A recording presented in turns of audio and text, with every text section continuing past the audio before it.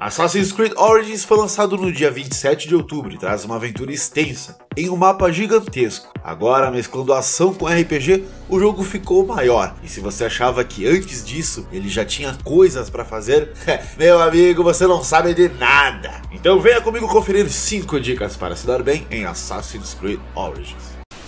A primeira coisa que eu falo em todos os vídeos de dicas são: seja cauteloso. Assassin's Creed Origins abandonou aquele combate dos jogos anteriores, sabe? Rapidão, apertar o botão na hora certa. Agora tudo está mais cadenciado e todos os ataques têm mais peso, ou seja, mais dano que você vai fazer no inimigo e mais dano que você vai tomar na cara. Na hora do combate, seja muito mais cauteloso. Tente não ser visto por ninguém, pois os inimigos estão muito mais fortes. Se você ficar bobeando com apenas um inimigo, mais aparecerão e aí ferrou.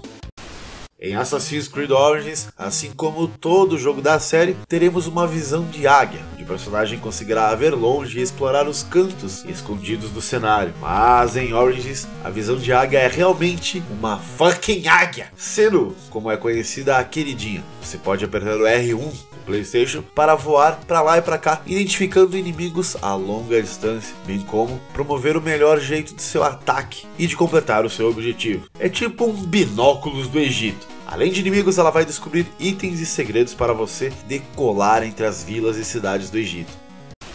Se você gosta de fazer tudo no jogo, tipo side missions, item aqui, item ali, eu tenho uma boa dica para você. Toda vez que você chegar em uma nova cidade ou vila, vá e selecione todas as missões secundárias. Sempre existirá um personagem, um NPC, que irá se encarregar de apresentar para você várias missões. Elas estarão em mapas pequenos. Essas missões, side missions, serão importantes para você ganhar a experiência. Elas estarão todas listadas no seu menuzinho. Todas elas têm uma dificuldade logo abaixo. E elas irão render, além de experiência para o personagem, vários itens, alguns muito ruins e alguns muito topzera. Então aproveite o jogo, faça todas as side missions, deixa-se envolver pelo personagem de Bayek. Que frase foi essa?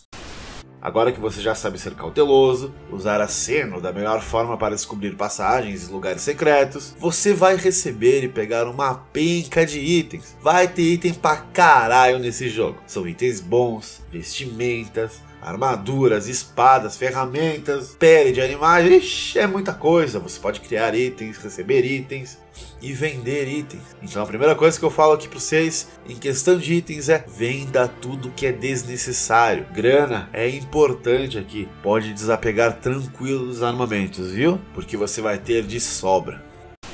E para finalizar, Origins também conta com missões temporárias com ótimas recompensas. Então vale a pena ir atrás de todas elas. Procura um ícone de camelo azul no mapa. Este aqui é um garoto comerciante que irá distribuir essas missões, no qual a recompensa sempre vai ser um item poderosíssimo. Também faça as missões de vingança, que surgem às vezes quando outras pessoas morrem no seu jogo. Essas missões temporárias podem ser chamadas de side quests. E como são temporárias, vocês já sabem que elas existem por pouco tempo. Então não perca tempo e vai atrás de todas elas, elas são as melhores.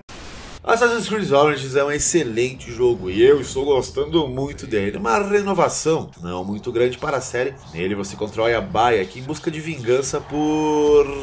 É, não vou colocar spoiler aqui.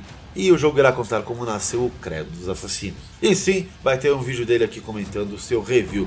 Mas mais adiante, porque eu estou fazendo tudo nele, certo? Aliás, deixa eu voltar para o Egito Antigo.